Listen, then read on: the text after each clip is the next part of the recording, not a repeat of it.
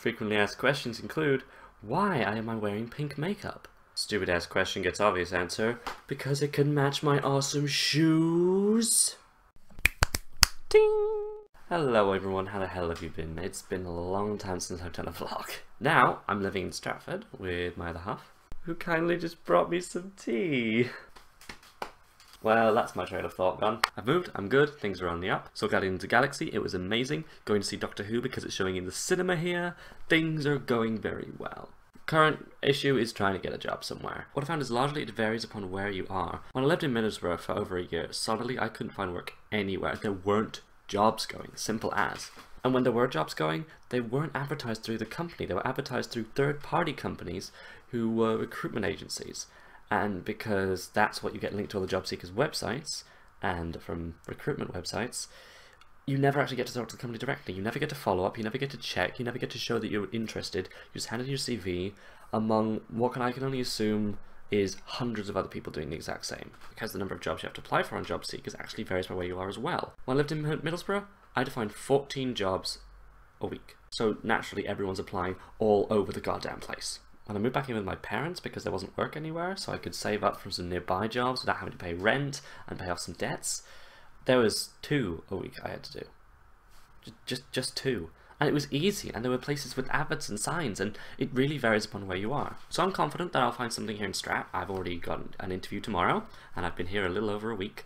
I've applied to a lot of places though. Which brings me to the topic of this video. What are my top 5 places I would like to work for? Number 5 clothing shops because I might actually be able to dress fancy and be accepted there. It'd have to be a very funky, open-minded clothing shop.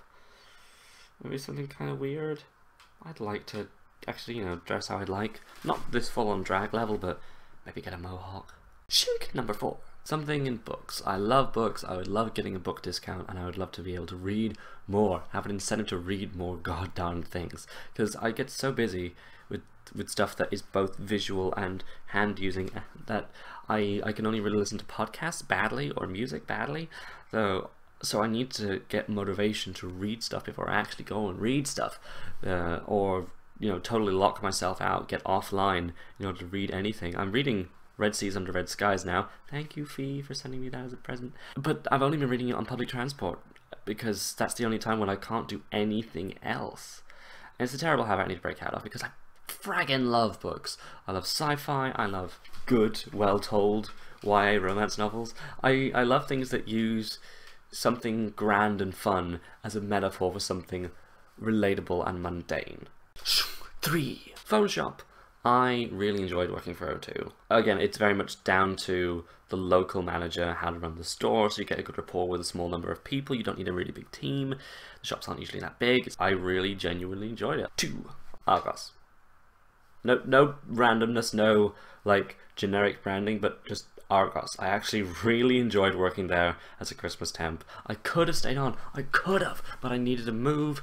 I miss it. I miss how really just well structured working there was. My line managers were all lovely people. They were very compassionate and listening whenever I had a, an issue or if I wanted to talk about anything. And they were intuitive as to if I needed to talk about anything but was trying to hide it. They, they praised people who did well. They tried to help people who didn't do well. They did everything that a good employer needs to do. Make you feel like they want you to succeed and I wanted to succeed because of that, and I did. I, I, I was really bad at it at first. I was terrible at selling insurance and additional uh, products with things, but I changed my phrasing, I changed my tones, and I learned how to sell, basically, as well as how to like get a good rapport with customers and have a good service. I, I loved it. I loved every minute of it. Really? And I know this sounds so weird to like, because Argos, no one really expects that because it's a massive company. You just take things from the back room, bring it in the front room. But no, there's this big complex thing going on. There's a lot of targets to meet. It's exciting. It's really exciting. I would, I would love to do that again. so weird. Also, the uniforms are all unisex, so I would love to do that again, and I wouldn't feel too bad about it. And number one, probably the reason I'm making this video at all. I would love to work in a comic shop. There are many reasons why I would love to, because A, I freaking love comics, I would love to get into them more, I would love to get a staff discount relating to comics, oh my god, oh my god. Everything I know about comic shops is they're run by interesting people. I've never seen one where someone isn't clearly dressed how they would want to dress, no one's in suits or uniforms. I would love to go and maybe get a mohawk, dress how the hell I wanted to do, wear like referential clothing and merch and people would get it and I could talk about it and actually gain rapport with people and it would be lovely to chat. I would love to work in a comic shop for all the reasons that you would want to work in a comic shop. Also, I would love to then try and join the Valkyries. The Valkyries are a group of women, about 250 now, who all work in comic shops and chat about comics and discuss comics and have this like network of comic chat going on. And it's awesome. It's run by Kate Leth of Kate Die. She does a lot of artwork for Welcome to Night Vale. She wrote uh, a comic which I'm I've ordered now and should be here soon.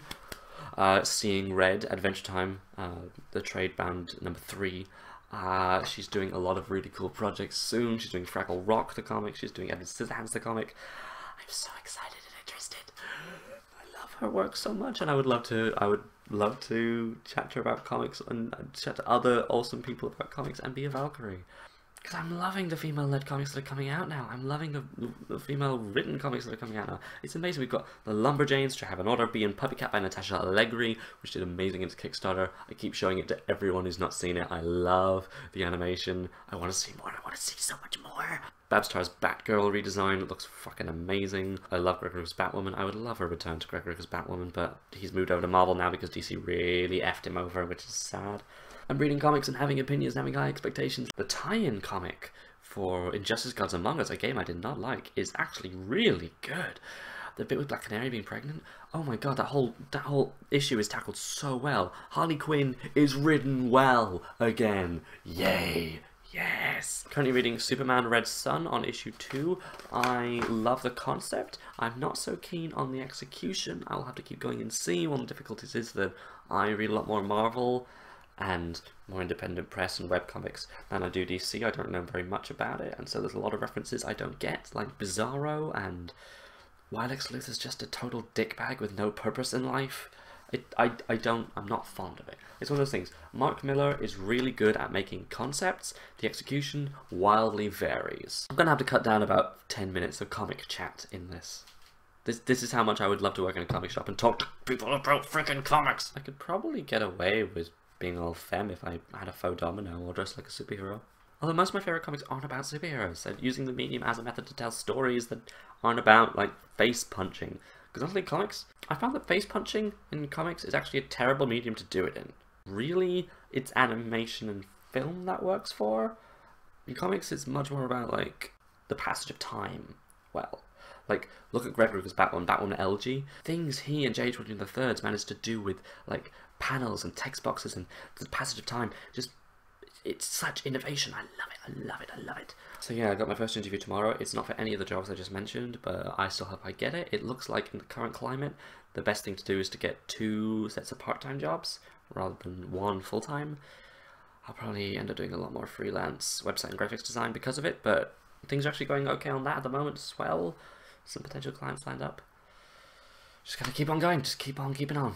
Also, in a random turn of events, I will be at the Galtres Parklands Festival, performing, uh, I think about 15 minutes on one of the stages, uh, in Duncombe, in Duncombe Park, Helmsley, uh, somewhere between the 22nd and 24th of August. It is a three-day thing from Friday to Sunday.